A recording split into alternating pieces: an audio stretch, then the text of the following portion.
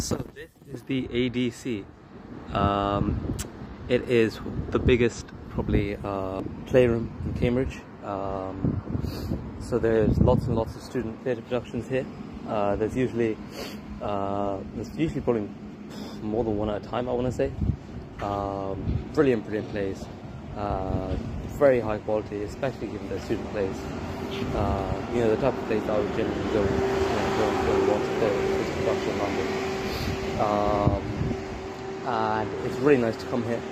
I try and come here once a week um, to watch a play.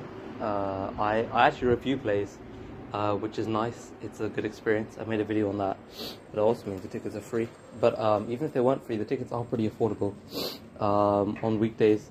Usually maybe around seven or eight pounds, um, which is, uh, I mean, for a student it's not the cheapest, but I mean, it's not bad at all. You get you know you get uh, three or four hours entertainment on an evening. Um, you know, and there's a there's a cheap cheap bar inside as well. So you know, I can't speak highly enough about, about the theatre scene in Cambridge. And as a student, you do have time to watch. You do have time to watch these plays.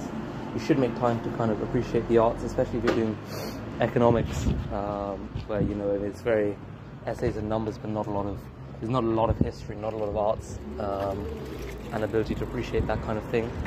Uh, there's, there are two or three other playrooms in Cambridge. There's a Corpus Playroom, um, uh, which is in central Cambridge.